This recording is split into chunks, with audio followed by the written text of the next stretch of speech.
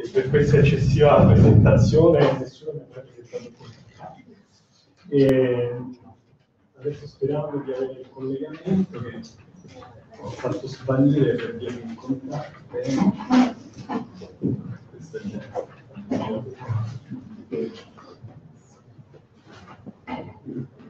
Vabbè, voi preferite giustamente Leonardo, però,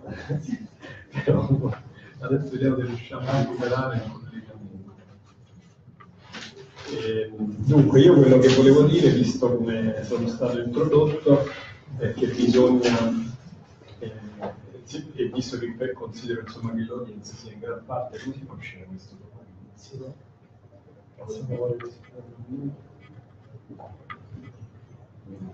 Intanto vuoi che oscuriamo... Ma vabbè, sì, no, così si vede bene. Dunque, dopo tutto questo elenco di cose, no, va bene, queste cose sono capitate anche un po' per caso nella mia vita e io voglio incitare tutti gli studenti a pensare che comunque noi abbiamo delle grandi responsabilità perché tutto questo grande territorio che studiamo eh, ha ancora bisogno tantissimo della presenza degli archeologi, sia per salvare eh, il salvabile del patrimonio sia per studiarlo come si deve. Quindi eh, diciamo che rispetto alla generazione dei miei maestri o anche prima, quando la letteratura era poca e le cose da scoprire erano tante, adesso c'è una montagna di, di, letteratura in crescita, però le cose da scoprire e da proteggere sono ancora tante. Quindi eh,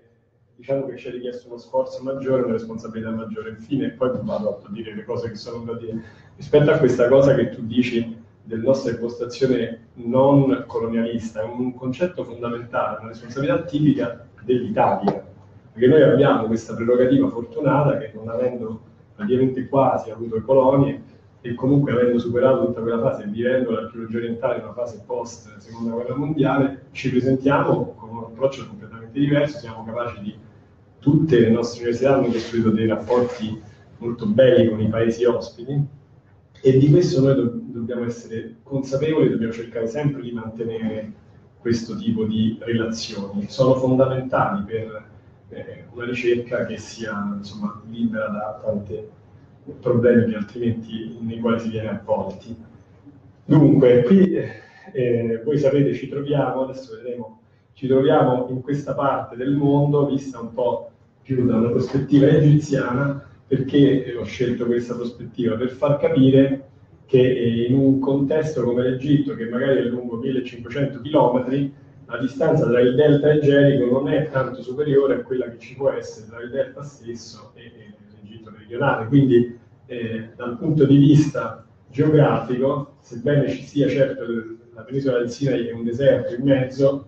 e, e sicuramente una geografia mentale separata, però quest'area non era del tutto eh, lontana come noi la la vediamo nei libri dove studiamo con un'impostazione ottocentesca le culture come se fossero popoli e ciascuna ha un nome, un'area e un'epoca. E a tuttora comunque noi abbiamo questa impostazione. Quindi qui vedete le oasi perché uno dei segreti della straordinaria relazione che questa città stabilì con la grande civiltà egizia fu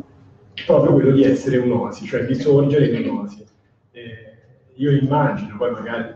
diciamo, non ho delle fonti scritte a conforto di questo, immagino che diciamo, un egiziano che entrasse nella Palestina meridionale, nel momento in cui arrivava a Gerico per la prima volta, vedeva un paesaggio che gli poteva essere un po' familiare, dopo aver attraversato eh, cose abbastanza diverse. Quindi eh, qui vedete appunto la localizzazione dei centri principali che conoscete e i diversi ambienti, no? per esempio delle oasi egiziane, e poi eh, vediamo il contesto di Gerico, Tel e Sultana, ecco perché Gerico ovviamente è il nome biblico, ed è un contesto ambientale estremamente particolare, perché prima di tutto ci troviamo in una delle più grandi depressioni eh, di tutta la costa terrestre, si arriva fino a 300 metri sotto il livello del mare, ma soprattutto quella che vedete, cioè la Valle del Giordano, è la prosecuzione di una faglia che arriva fino al Corno d'Africa, che non è un luogo qualunque, perché è l'autostrada attraverso la quale l'Homo sapiens dall'Africa è entrato dentro l'Asia. Quindi questo stesso luogo, eh, qualche centinaia di migliaia di anni prima, era un grande lago, molto più grande di quanto non sia oggi il Mar Morto, e sulle sponde di questo lago gli uomini si erano già insediati, eh, quindi è una via naturale, diciamo, inseguendo le gazzelle che ancora oggi sono lì. Eh, non è un caso quindi che questa relazione eh, con il mondo africano sia stata stabilita sui tempi quello della lunghissima durata. Noi dobbiamo tenere sempre presente sullo sfondo qual è la lunga durata dei comportamenti e anche qual è il contesto veramente ambientale dove una comunità umana è cresciuta, perché questo influenzerà poi la crescita e lo sviluppo di questa comunità. Questa regione eh, si chiama Gor ed è una sorta di enclave nella parte meridionale della Valle del Giordano molto verde, sia perché il Giordano è un fiume sinuoso, quindi eh, crea un'area coltivabile più ampia, soprattutto però perché dai monti che sono ai lati, da una parte l'altopiano Giordano, dall'altra il monte eh, cosiddetto delle tentazioni, il deserto di Giuda, eh, le acque che vengono raccolte vanno prima in profondità e poi sfociano tutte, in questo caso, come vedremo, in una straordinaria sorgente. Gerico è un'oasi, è un'oasi diciamo, che potremmo dire senza mancarle di rispetto ridicola rispetto alle oasi che ci sono in Egitto, dalle dimensioni che ha andiamo per 10 km, quindi non è una grandissima oasi, però eh, tutto va rapportato al contesto ci troviamo. Il contesto qui è tutto molto più eh, ridotto e quindi appunto noi immaginiamo che un egiziano poi magari arrivando a, a Gerico poteva ritrovare più o meno lo stesso paesaggio. Dunque, qui eh, le cose che io vi mostrerò eh, derivano da un'attività che ormai è eh, ventennale, anzi quasi più che ventennale, e che risale al 1997 quando la Sapienza ha iniziato a lavorare a Gerico e all'epoca eh, la missione era diretta da me Niccolo Marchetti. E nel frattempo sono successe tante cose, però questa mappa serve e, diciamo, a me è utile molto in ambiente anglosassone dove gli inglesi, che sono stati coloro che hanno scavato Jericho prima di noi con la famosissima Dame Kathleen Canyon, non hanno ancora preso coscienza che dopo i sei anni della missione da Canyon ce ne sono stati 20 della missione di Palestinese, quindi senza volersi manco lontanamente paragonare, però abbiamo noi dei dati, diciamo, abbiamo dei nuovi dati, questi nuovi dati eh, sono stati molto importanti in molti sensi per capire questo contesto. Allora, eh, al centro di questo insediamento c'è una sorgente, eh, questa sorgente eh, è stata prima il nucleo dell'insediamento neolitico, un insediamento che qui diciamo, è rappresentato dal cerchio arancione, ma in realtà era molto più grande, e probabilmente la città del bronzo antico era grande un po' meno del, dell'insediamento neolitico, tant'è vero che questo insediamento neolitico la Kenyon lo chiama eh, town a un certo punto, perché aveva anche un muro difensivo. Quindi l'archeologia di Gerico è un'archeologia veramente multifase, ha uno straordinario neolitico preceramico, poi un abbastanza importante neolitico ceramico, poi c'è un gap durante il calcolitico nel quale la sorgente eh, ha smesso di funzionare, cioè una serie di eventi sismici hanno probabilmente ridotto molto, addirittura interrotto il funzionamento di questa sorgente e quindi la popolazione dell'insediamento si è spostata sulle sponde di un fiume che si trova, diciamo di un fiume, di un piccolo eh, torrente che si trova un chilometro più a est, che è diventato un altro sorgente che invece aveva continuato a funzionare. Nell'età del bronzo sono tornati su questo sito e eh, l'esperienza della nascita della città nell'età del bronzo è molto ben evidente da discarica, d'altra parte ci sono state quattro missioni archeologiche e quello che vedete voi così in questa foto aerea, più che un tel, è una specie di groviera, insomma, dove all'inizio, mi ricordo, per districarsi tra queste cose, il prim- primo problema che aveva l'archeologo era distinguere tra lo scarico gli scarichi precedenti e gli strati in una originale dicitura. Poi negli anni abbiamo pulito insomma, meglio e quindi si è potuto iniziare a capire. Quest'area nella sorgente è stata nella seconda metà degli anni 2000, cioè dal 2007 in avanti, oggetto di un grande intervento di restauro, abbastanza eh, trasformatosi poi in una colata di cemento, perché quest'area è, è sotto la giurisdizione del comune di Genova, la municipalità, mentre il TEL è sotto la giurisdizione del Ministero delle Antichità, quindi in tutto il mondo è sempre uguale. Chiaramente questi due enti non possono in nessun modo andare d'accordo tra loro. e, E io mi sono sempre trovato a eh, cercare delle mediazioni e anche questo ha fatto sì che poi il comune abbia dato alla nostra università anche da fare diciamo, scavo salvataggio della sorgente prima che fosse sommersa dal cemento, però questo il Dipartimento lo ha accettato un po'. Dopo c'è stato questo capolavoro europeo che è il tetto con le marsigliesi sulla grande vasca che costituiva dall'età ottomana la piscina dell'acqua di Gerico. Però l'importanza di, di, questa sorgente è questa, sono 5.000 litri di acqua al minuto, quindi si tratta di un fiume, non so se diciamo, è difficile da spiegare, un meraviglioso fiume di acqua trasparente potabile che sgorga al, esattamente nel, nel, punto dove termina il plateau calcareo e inizia il piano alluvionale prodotto dal, dal, dal limo portato dal, dal fiume Giordano. Quindi è un punto straordinario perché quest'acqua non solo sgorga eh, alla base della montagna, ma davanti a sé ha un territorio limoso che è facilmente coltivabile. Non è quindi un caso che Gerico è da inserire tra i centri neolitici dove per la prima volta sono state domesticate le piante e, e ci sono i primi esempi di agricoltura o i primi esempi eh, è stata inventata la ceramica e i primi mattoni, perché sono tutte cose che si possono fare solo se uno ha una grandissima disponibilità di acqua e tra l'altro acqua pura, cioè acqua che non si salinizzerà mai, eh, come accade in altri luoghi, e che eh, tuttora è, nonostante uno sfruttamento selvaggio, insomma è una risorsa primaria. E quando noi ci iniziamo a interessare di Gerico, cioè nel bronzo antico, eh, diciamo anche con una cronologia un pochino più alta di quella che è scritta qui, il, eh,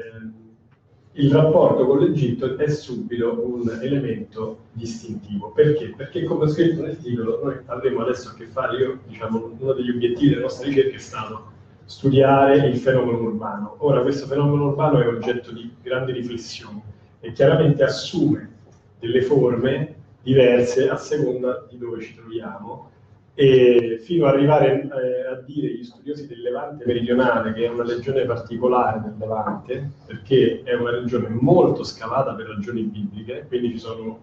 legioni di archeologi che ci lavorano, specie nel mondo eh, angloamericano, eh, i quali eh, discutono molto su cosa sia una città. E eh, ora qui bisogna capire due cose, che uno da un lato bisogna uscire da problemi di natura solo terminologica, perché non è, cioè, la questione non è terminologica, nel senso che se uno eh, la vuole chiamare in un altro modo, per me non c'è problema, ci sta uno studioso che le chiama eh, la civiltà delle, degli insediamenti fortificati, chiamiamola così, non è che per adesso l'importante è capire che, che cosa sono questi insediamenti e dove mettiamo il discrimine tra la città, diciamo, l'organizzazione che noi chiamiamo urbana e non la mettiamo. Allora questo è un caso di studio interessante. Eh, chiaramente io, siccome la scavo, ho sempre detto che questa è una città, non potevo andare male del posto dove lavoravo, però ho anche trovato dei, dei criteri che hanno un senso al loro interno, cioè la città come un livello di complessità superiore a un villaggio dove c'è un capo, insomma. E quello penso che ci sia. E uno degli elementi fondamentali di questo fenomeno è proprio il rapporto eh, che sale a livello internazionale quando ci sono delle prove dei rapporti con l'Egitto. E nel 2017, cioè dopo 20 anni di scavi, noi abbiamo ritrovato una cosa che io mostrerò in questa eh, breve presentazione, che è una delle tante prove che è proprio il rapporto con l'Egitto che ha portato a questo tipo di modello, cioè un modello un po' più complesso di organizzazione di questa comunità. Comunque all'inizio c'è una fase che giustamente Capin Kennedy aveva chiamato il periodo proturbano, che noi abbiamo, chiamiamo nella periodizzazione del, del Levante il bronzo antico primo, e in questo bronzo antico primo ci sono alcuni elementi guida che sono costituiti dalle teste di mazza che conoscete bene come simbolo così del potere e da questi cosiddetti lotus flowers che eh, ricorrono nei contesti palestinesi, tra l'altro non in tutti i contesti, ma in contesti che di solito sono o luoghi come templi o, oppure ovviamente eh, il contesto funerario. Eh, qui vedete degli esempi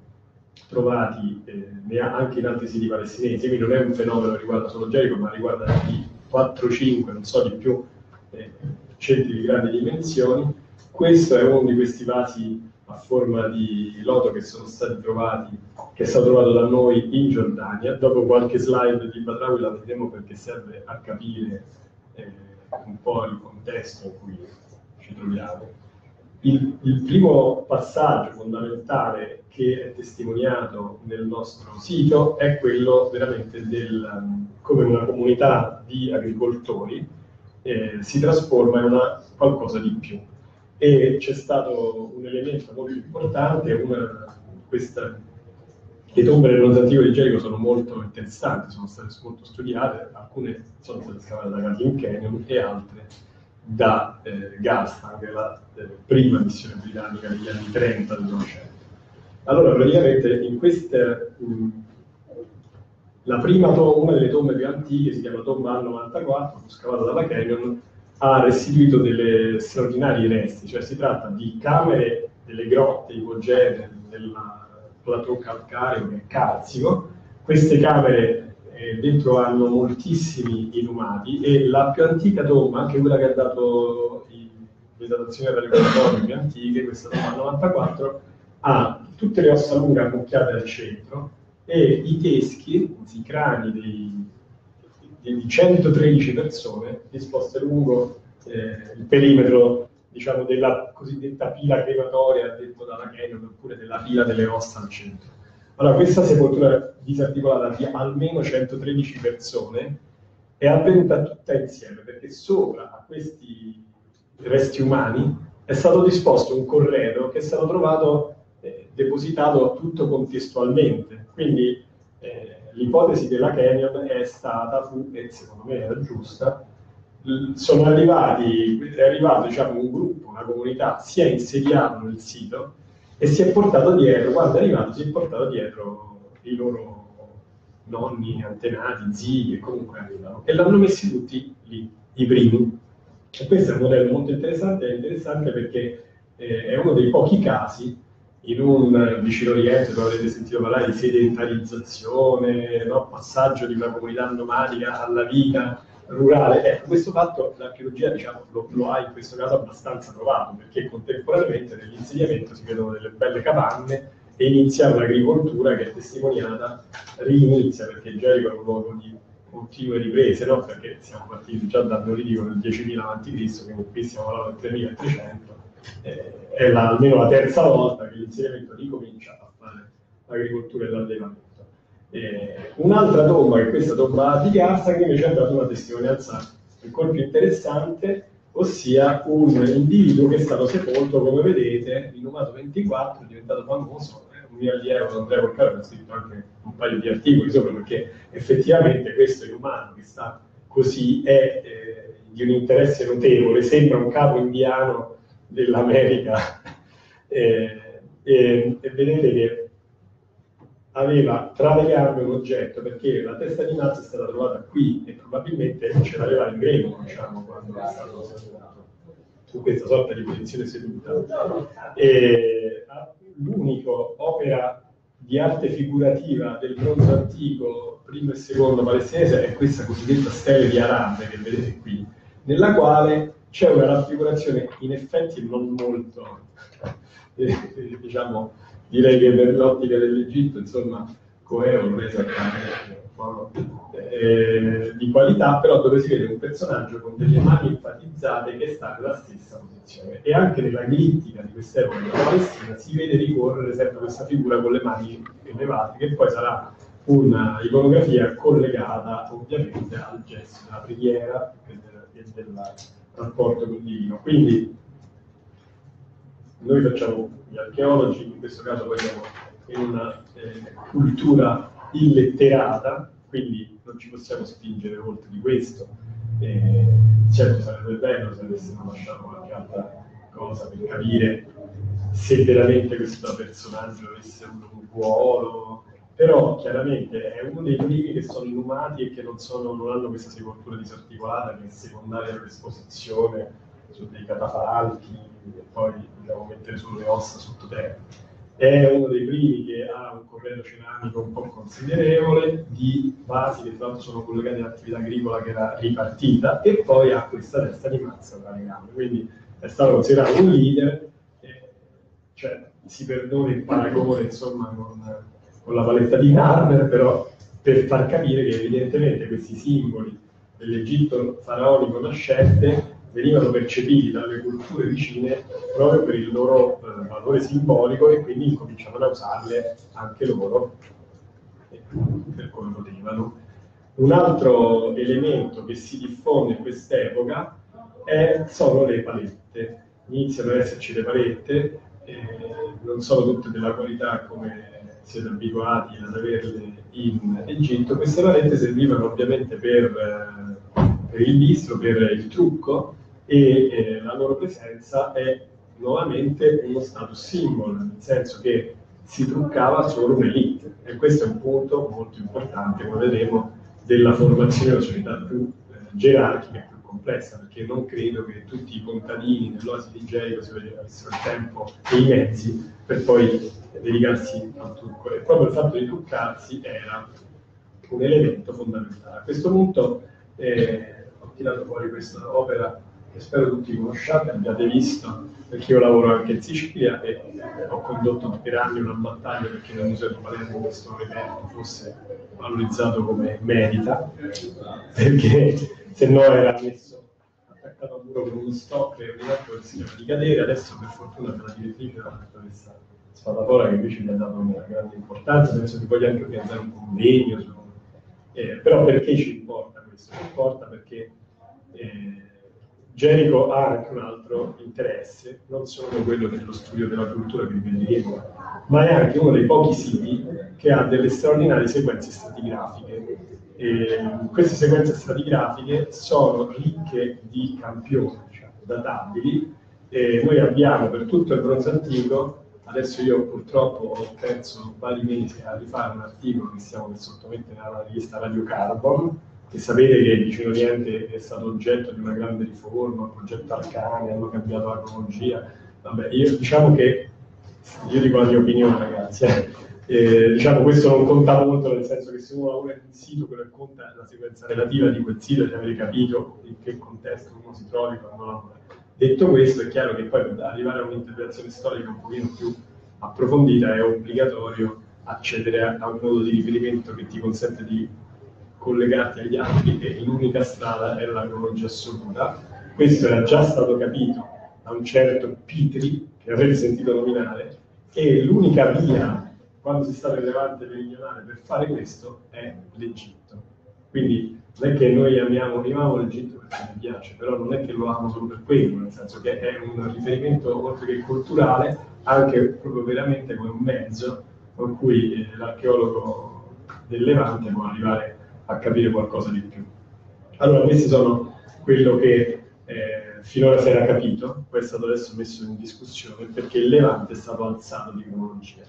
Eh, per quanto riguarda Gerico, Gerico ha dato 50 date radiocarbonio, non così, ma disposte dentro la stessa sequenza, cioè io sono sei mesi che combatto questa cosa, perché chiaramente la data al radiocarbonio è un isotopo, non so se sapete cos'è un isotopo, cioè l'isotopo è un pezzo dell'atomo, quanti atomi ci stanno in questa stanza? Moltiplicate, ecco, l'isotopo è ancora meno, quanti ce ne stanno qui? Allora noi prendiamo un isotopo, uno, eh, lo datiamo con una precisione assoluta, e dopo però noi dobbiamo capire questo qui, dove stava, sia da cosa è stato preso, perché come voi ben sapete, solo un seme carbonizzato ci può dare una data eh, relativa a quando, a quando è stata mietuta la pianta dove stava questo seme quindi non neanche relativa all'incendio, eh. Ma già quando noi arriviamo a, a, prendere i carboni, che sono il nostro ritrovamento tipico, perché noi siamo degli abortori del passato, ci nutriamo delle disgrazie di quelli che vivevano dove scaviamo, e questo carbone se, dipende se è il carbone con cui hanno cucinato le salsicce, eh, magari è una pianta che ha vissuto tre anni, mentre se è il carbone di un trave, di una quercia che è stata tagliata 500 anni prima quando è stato fatto il palazzo del re, la data radiocarbonio che noi avremo sarà quella. E a volte la gente ha anche cucinato le salsicce con il recinto del nonno che ha smontato che stava lì da due secoli. Quindi è molto difficile l'uso questi. È meglio escludere un campione se non ha dei dubbi, perché sennò si va a mettere. Ma soprattutto io ho, ho, quello che ho cercato di fare è creare una sequenza che abbia un senso, cioè Se io partendo, e questo è molto difficile farlo capire ai fisici, e loro credono fermamente e giustamente la notazione dobbiamo dare per certa, però il problema è che la sequenza stratigrafica è fondamentale perché tu non puoi avere un campione sotto, che è sicuramente sotto nella tua stratigrafia, che poi ha una datazione più recente di uno che gli sta sopra. È tutto lì. Allora, una volta che abbiamo fatto questo, eh, abbiamo visto che Jericho è eh, coerente, cioè la sequenza che aveva fatto la Kenny, che noi abbiamo verificato di eco che si chiamano stage su Jericho, c'è una stratigrafia molto complicata, non è tanto diversa nella sua inquadramento delle date radiocarboniche che abbiamo dallo schema che noi abbiamo sempre seguito, che è quello che vedete qui. Quindi, invece di rialzare, farmi prendere da varie paturne, io eh, considero valido questo, questo schema e non è una sciocchezza perché noi qui abbiamo messo in parallelo dei fenomeni storici che avvengono in particolare in Egitto e che di, di conseguenza influenzano il Levante, che se noi li facciamo sfasare, allora dopo noi non possiamo più dire che nel bronzo antico terzo c'è un cambiamento, si rivolge il Levante verso il nord perché l'Egitto ha deciso di non andare più nel sud del Levante ma va direttamente a Biblo e nel nord e quindi tutti si riorientano verso il nord. Se noi spostiamo il Levante più in su, tutte queste interpretazioni dove siamo stati formati non hanno più senso. Allora io ancora le considero valide, però mi baso sul sito dove scavo. E quindi ho messo questa carrellata di, eh, di corrispondenze per, per, spiegare che non sembrano sciocchezze, ma invece sono molto importanti. Ho anche messo qualche personaggio, eh, anche l'egittologia che sembra, adesso non voglio dire che sì, sembra è una scienza avanzatissima, no? perché ha una quantità di dati, però io continuo a sperare che se ne abbiano altri, perché eh, la ricostruzione della storia, per esempio la dodicesima dinastia, non è finita. Cioè ci potrebbero essere altri funzionari militari che sono stati spediti poveri loro a fare la guerra o a conquistare il Levante che hanno scritto le loro imprese e che solo dopo, diciamo, studiando noi capiremo meglio cosa è successo. Perché chiaramente eh, li, diciamo, la,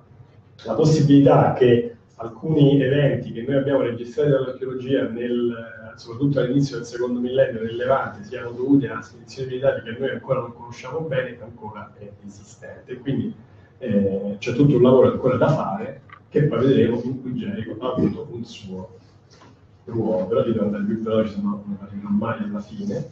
Allora, la prima città nasce così, e beh, l'evento fondamentale è la costruzione delle mura,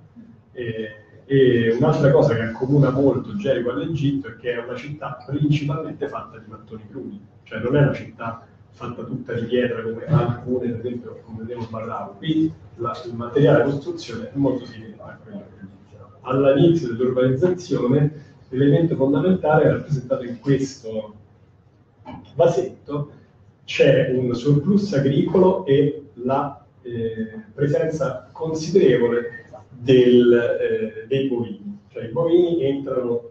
prepotentemente nella dieta della comunità. Questo ci riporta anche alla Mesopotamia, cioè il boom della comunità, sia demografico che economico è dato dall'avere una possibilità di allungamento della vita, sopravvivenza dei bambini, una cosa fondamentale, data dal latte vaccino. Se voi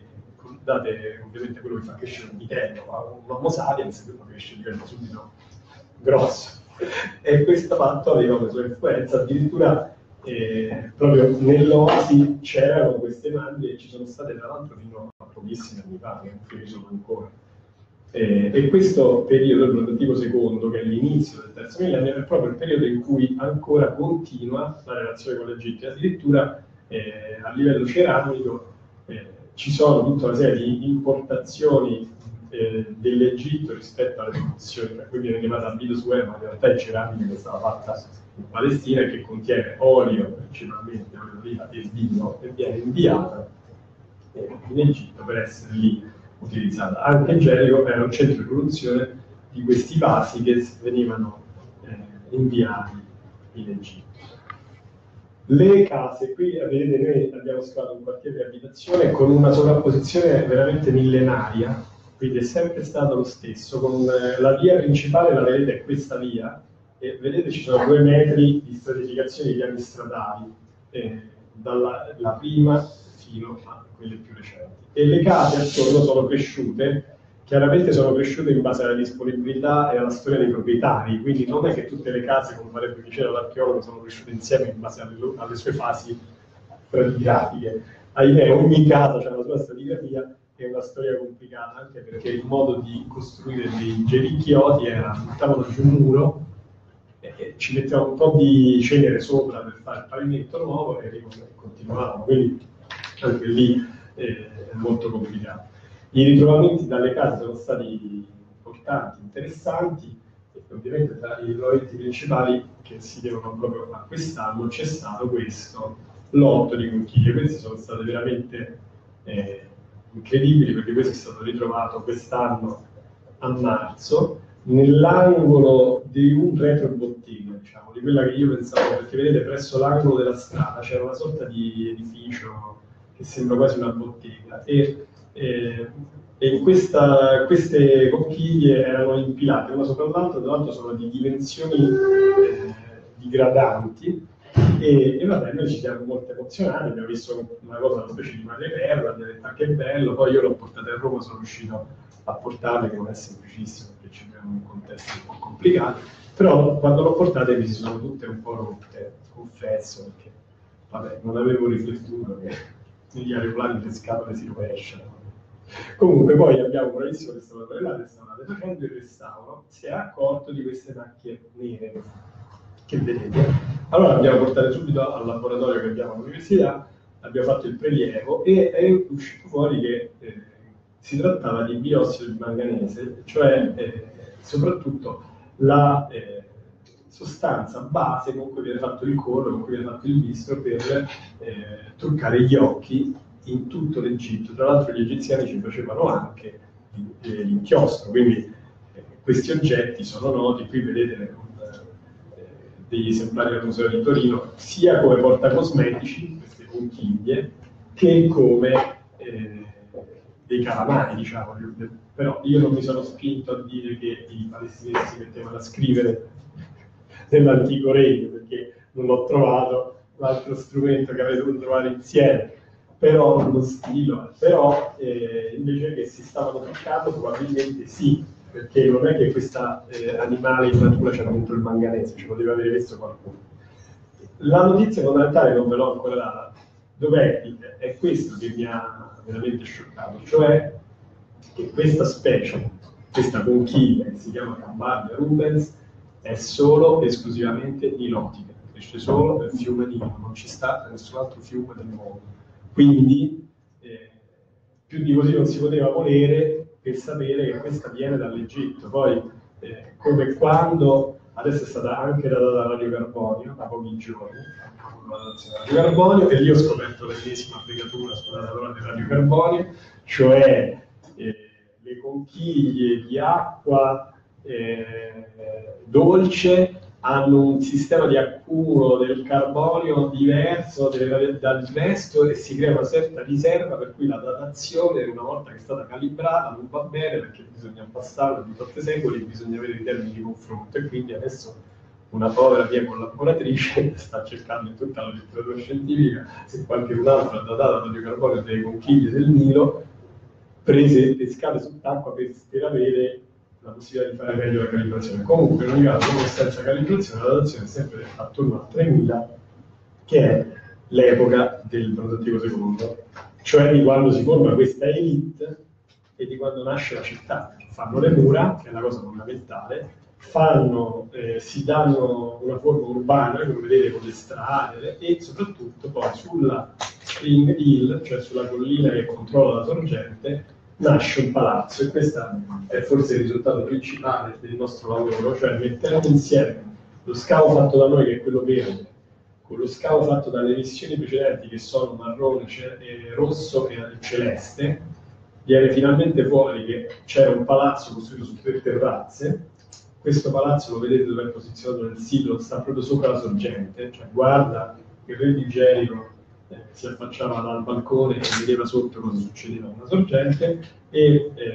eh, ovviamente da questo palazzo provengono alcuni reperti fondamentali e di nuovo siamo con la testa di mazza, una parete scisto che purtroppo è distrutta però il materiale è egiziano, la forma è forma di questa specie di scudo non abbiamo capito, cioè io non ho trovato confronti esattamente.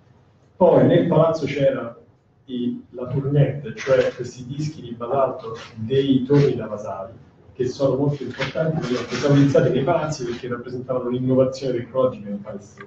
E poi è l'unico contesto del sito, a parte le tombe, in cui sono state trovate armi di rame. Quindi, diciamo, i ritrovamenti, più che eh, oltre all'architettura, ci spiegano la funzione di questo tipo di edifici. Sono degli edifici che hanno, per questo poi inizio a parlare di una città, che hanno una funzione complessa, addirittura c'è stata trovata una testa di avorio che era l'elemento di un pomello di un trono, della sedia, no? un elemento decorativo, che assolutamente sono cose del tutto straordinarie rispetto ai ritrovamenti che avete visto prima nelle case. Nelle case ci sono semplici, eh, strumenti eh, al massimo che puoi trovare di complessità, dei pesi che servivano anche per il. Adesso la conferenza non finire perché è una batteria. Vabbè, eh, questo no. Speriamo che la batteria duri un altro po', poi troveremo un altro computer. Queste armi hanno portato a eh, studiare il rapporto con l'Egitto attraverso quella che io ho chiamato la via del rame, perché chiaramente il rame rappresentava tutto quello che si poteva avere di più tecnologico in quel contesto culturale. Il rame si poteva andare a prendere volendo a Cipro, eh. alcuni hanno dimostrato che... Però un altro luogo da cui veniva il rame era la valle dell'Arabà, cioè proprio a sud del Mar Morto, in due location in una di Finan e l'altra nella famosa Timna, e poi volendo anche nel Sinai. Quindi eh, su questa via del rame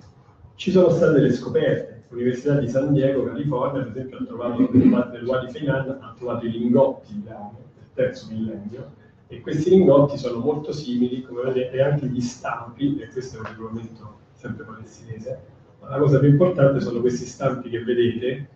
gli stampi in cui veniva già colato e quindi prelavorato in forma di queste asce il rame nel Wadi Fenate. Quando nel sito della Giordania, che tra poco vedremo, noi abbiamo trovato queste cinque asce, che sono, insieme a quelle terrepesi, il più importante ritrovamento di un tesoretto di metalli del terzo millennio in Palestina. E io ho chiamato Tom Levy, scusa, poi ho trovato gli stampi, io ho trovato quelli che ci stavano dentro, che sono, come vedete, appartengono proprio alla stessa tipologia di reperti. Quindi siamo andati ovviamente a TIM, abbiamo fatto tutti i prelievi dei metalli e tutte le analisi possibili, inclusi gli isotopi. Allora la soluzione è sempre la stessa, cioè gli antichi rifondevano il metallo molto spesso, quindi è molto difficile avere la prova, cioè è molto probabile che venga la TIM questo rame, ma non è, non è certissimo nel senso che eh, sei, a parte che ci sono filoni diversi all'interno delle stesse miniere quindi che, che cambiano la loro composizione chimica, quindi tu non puoi essere mai sicuro dell'impronta digitale diciamo, di una fonte, ma soprattutto il fatto che poi il metallo venisse diffuso eh, diciamo, uno può addirittura commerciare gli oggetti prelavorati che vengono dall'Anatolia, come infatti è stato dimostrato in alcuni casi, e ritrovarseli in,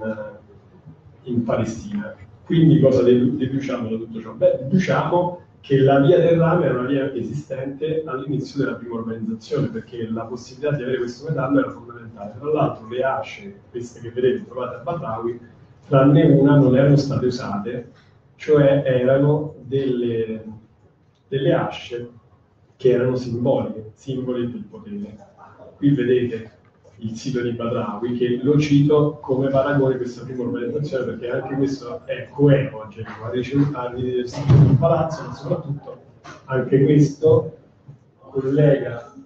eh, vedete era un sito dominante oggi dove si trova qui la valle di un altro fiume, quindi è una situazione completamente diversa, siamo in un alto piano giordano, a est del Giordano, e il sito controllava il guado su questo fiume. Però dicevo, eccolo qui il guado, che poi di entrare in quest'altra valle. Ci interessa perché anche Badrawi ha la Egyptian Connection e anche Badrawi è ancora più di Gerico quasi un centro che si basa sul controllo delle vie carovaniere. Quindi è quasi incredibile, lo era per me, che un sito sperduto della Giordania abbia dei reperti egiziani qui vedete le mura, io non voglio dilungarmi su questo sito oggi, però vi faccio vedere le mura, il palazzo, la porta, le carovane che arrivavano con gli asinelli, questa è eh, la situazione di questo che abbiamo chiamato palazzo, cioè un edificio pubblico più grande, con dentro una quantità di reperti che non si può neanche immaginare. E adesso vado veloce perché questo è un pezzo che Vedete che l'architettura è interessante, i reperti pure sono tanti, speriamo che non si spieghi in questo momento. Ci sono festeggiare, su festeggiare ci sono dei segni e bisogna stare pure un po' attenti perché alcuni di questi segni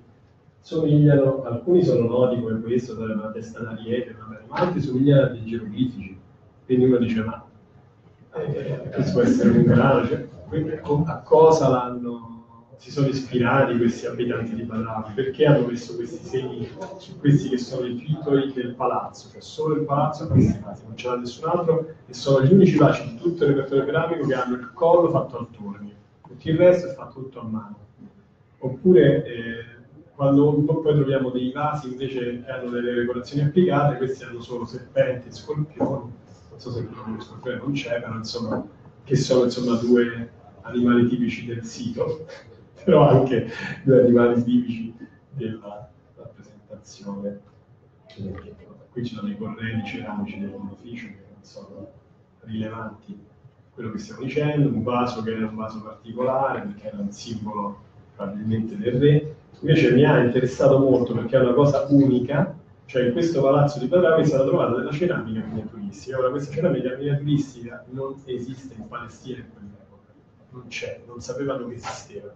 E, e, quindi noi ci siamo subito detti, ma guarda un po' che invece in Egitto, proprio qui ci troviamo nella quinta dinastia, così, eh, questi, tra la quarta e la dinastia, invece la ceramica miniaturistica c'è.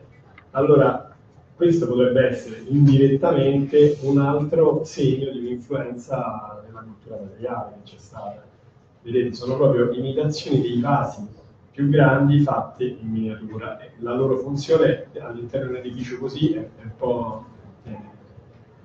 non si riesce ancora insomma, a capire, nel senso che normalmente noi siamo abituati a vedere questi vasi in contesti religiosi, sono delle repliche fatte per offrire simbolicamente la cosa che rappresentano per esempio una stile votiva, invece qui stanno dentro al palazzo, quindi magari sono giocatori del film. Comunque, altri eh, reperti ceramici di cui non parlare oggi, però che sono, sono, sono stati studiati. I morire prima della fine. Qui ci vedete di nuovo anche nel palazzo di Padraui erano tesaurizzati i, i torni. Quindi veramente per il Levante l'avvento del, del tornio è stata un'innovazione del terzo millennio, pensate, una cosa che magari tante culture si conosceva da molto tempo prima, ed è stata mediata dal ruolo del palazzo. Quindi noi vediamo che c'è un'elite che si occupa anche di innovazione tecnologica. Infine, nuovamente i reperti questa volta di Badrawi egiziani, e anche qui abbiamo una paletta, tra l'altro disgraziatamente frammentaria con un'incisione che io mi chiedo che cosa sia pesce gatto, non sono riuscito a capire, ho cercato tutti i confronti possibili e immaginabili e ho messo taglie sui pezzi mancanti, chiedendo agli operai di, di, di, di setacciare l'intero colle di montagna, perché queste sono quelle cose che fanno impazzire dell'archeologia, che tu in un contesto chiuso, incendiato, trovi un oggetto spezzato e non riesci a trovare i pezzi.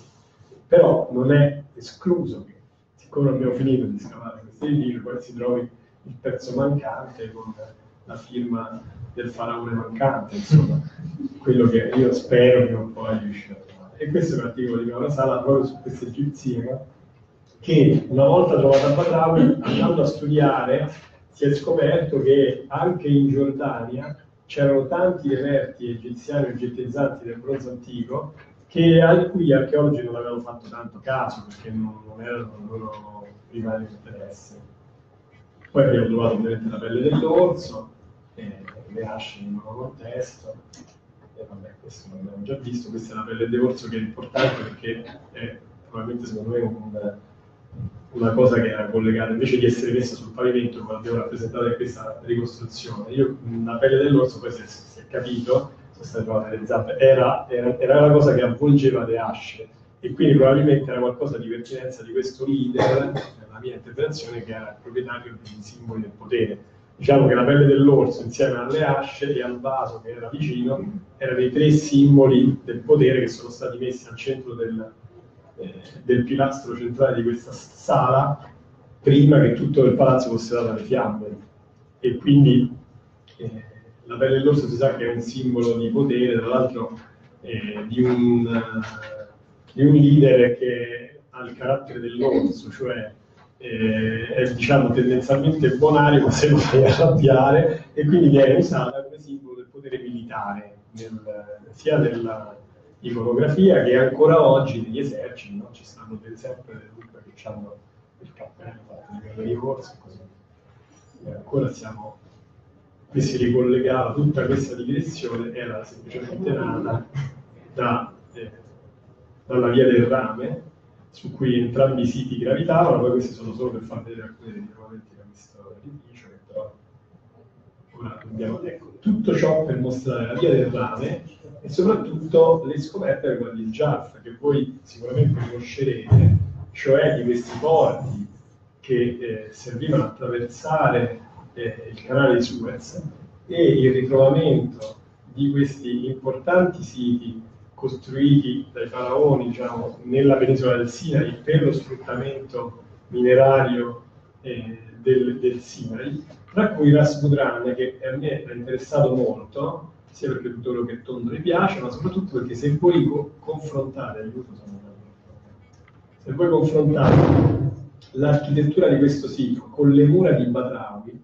vi rendete conto che c'è una fortissima somiglianza. Addirittura nella letteratura si dice di Batrawi e anche di Aino, un altro sito palestinese, che come gli egiziani usavano la pietra come se fossero dei mattoni e questa è un'innovazione che facciamo risalire alla terza dinastia, no? cioè al fatto di tagliare il calcare in una forma come se fossero dei mattoni e quindi poi di poterle mettere in opera un po' come se fosse, ecco, eh, la somiglianza architettonica è un altro elemento veramente notevole eh, e diciamo non possiamo non finire con questo capolavoro che alcuni ignorano, cioè eh, la statua di rame di Pere I, perché a parte che questa penso sia la, la più antica statua eh, di un personaggio fatta così, ma soprattutto nuovamente vediamo che sia gli egiziani che i nostri poveri sfortunati abitanti delle Alpi meridionali che si chiamano volendo eh, cananei del terzo millennio, si recavano nelle miniere di rame per eh, realizzare gli uni, questi piccoli strumenti che utilizzavano anche come simboli del potere, gli altri dei capolavori d'arte però in quel luogo, secondo me, le miniere erano sicuramente il luogo dove si potevano incontrare e quindi dove avveniva questo scambio eh, dal quale eh, il Levante uscirà fecondato praticamente. No? quindi qui il palazzo, visto com'è, non era nella ricostruzione, con eh, alcune statistiche dei dati di materiali egittizzanti egiziani trovati a Gerico, quindi vedete sono dei numeri abbastanza significativi per essere un sito palestinese e eh, quindi il terzo millennio diciamo che il ruolo dell'Egitto è abbastanza fondamentale. Per alcune cose come il torno non sappiamo se anche questo sia stato, eh, cioè l'Egitto esisteva, non sappiamo se lo abbiano preso i palestinesi dal contatto con l'Egitto o viceversa, magari gli egiziani che avevano a loro volta preso dai sumeri, lo so, però